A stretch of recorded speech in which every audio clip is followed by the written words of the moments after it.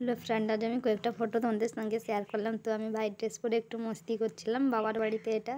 তো দেখো বাবার বাইকে বসে পড়েছি, আমি চালাতে জানি না, তো মানে ফটো তোলার জন্য বসেছি। তো কেমন লাগছে সবাই প্লিজ কমেন্ট করে বলবে। তো বাবার সঙ্গেও কয়েকটা ফটো তুলেছি।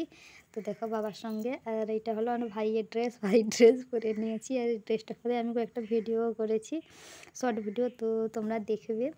আর এই দেখো রাজ বলল, মামা কোথায় যাবে? দিয়ে আমার কোলে হয়ে গেছে। তো কেমন লাগল অবশ্যই কমেন্ট করে বন্ধুরা।